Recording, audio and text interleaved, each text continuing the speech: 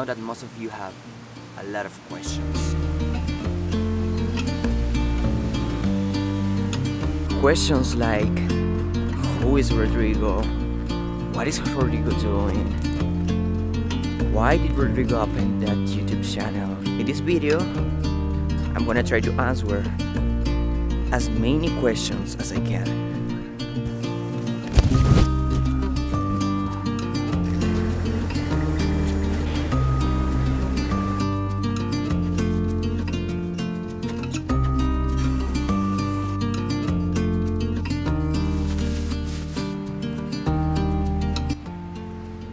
Today's video is gonna be a little bit different. I'm gonna tell you a little bit more about me, about who I am, where I'm from, what I'm doing, all these kind of questions. I'm gonna try to answer all of them in this video.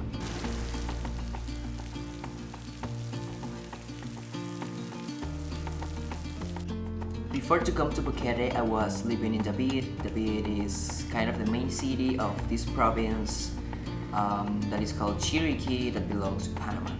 And I was living like in a central place in David. I was living with a cousin. One day I saw a kind of ad on internet, on WhatsApp. There was a guy who was looking for some help giving tours in a coffee farm. And I just texted to the guy, that guy was Arturo. We just uh, had a meeting in the coffee farm. I came up to Boquete. I, I remember that day I, I came late, not I remember. I saw the passion in his eyes. I saw the passion for what he was doing in that moment. That motivated me to want to do that kind of job. And he started training me, training me, teaching me all the things that he knew in that moment about the coffee. So I started learning, learning, learning. I made a couple of tours in the farm and a couple of weeks after that he asked me if I wanted to be part of one of his projects. He was thinking in opening a coffee shop in the town, in Boquete town and I just said yes, of course, I'm in. I think that was the best decision that I took in my whole life.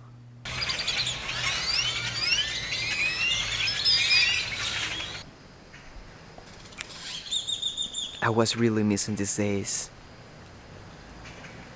Getting off of the work late, just watching the sunset from here, from this park. These are the things that I was making seven months ago when the pandemic or nothing similar to this uh, was happening before. This was my routine. I just came here after the work, take a seat in one of the benches, and then just enjoy watching everything.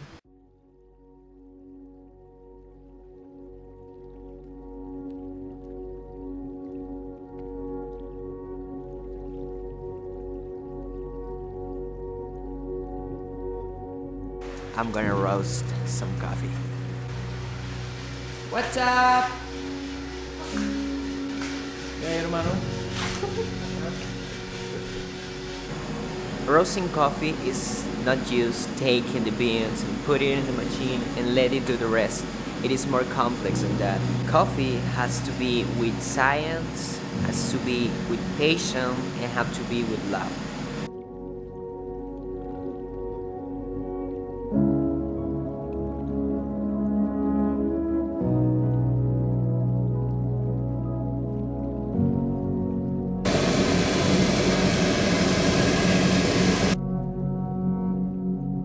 Something very important when we're roasting coffee is taking notes. We have this page here and every single thing that happens when we're roasting the coffee, we just write it down because we use all the notes as a reference for the next roast, for the next batch. And actually the coffee that I just roast, um, I think a couple of you are gonna drink that coffee so it's gonna be even more special. And now it is time to cup the coffee.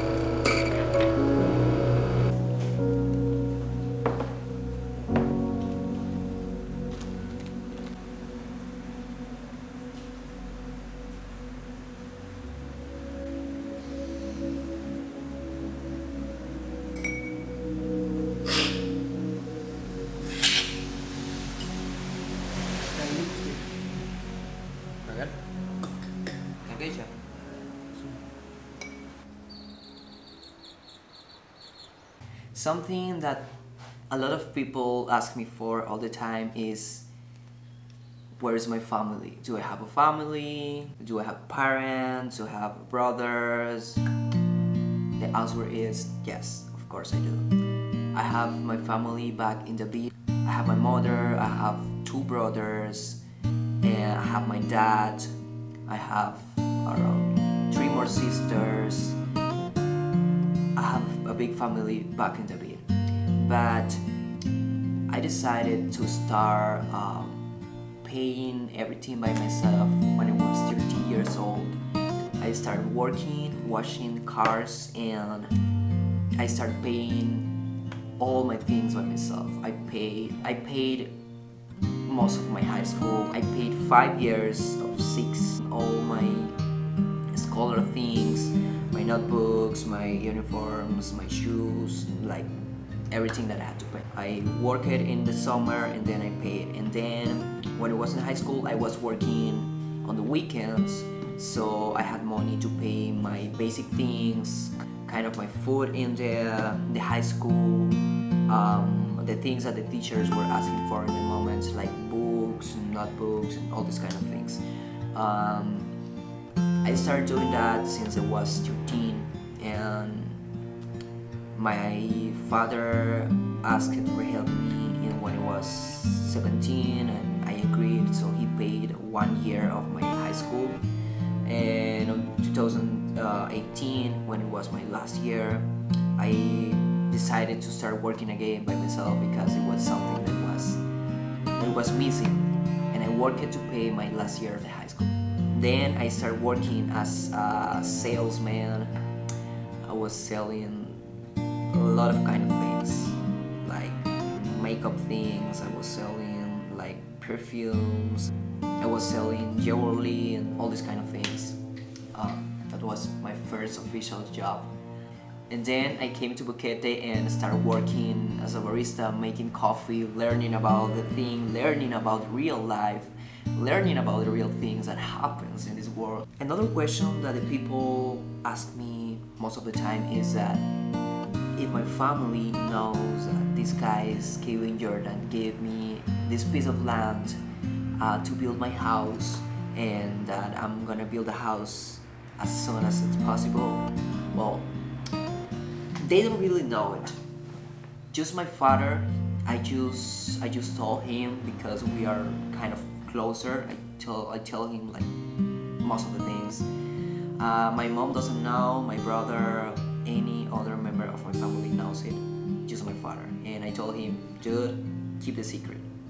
I'm gonna tell them once everything is done. When everything is done, I'm gonna surprise them. My mom and my dad, they know that I'm doing things in the jungle. They think I'm just like exploring and doing these kind of things. But they don't really know that I'm making videos. I don't know, I, I'm sure that I'm gonna tell them that I'm making these videos, but I don't know when I'm gonna do it. I know that I'm gonna do it, but I don't know when. That's the thing.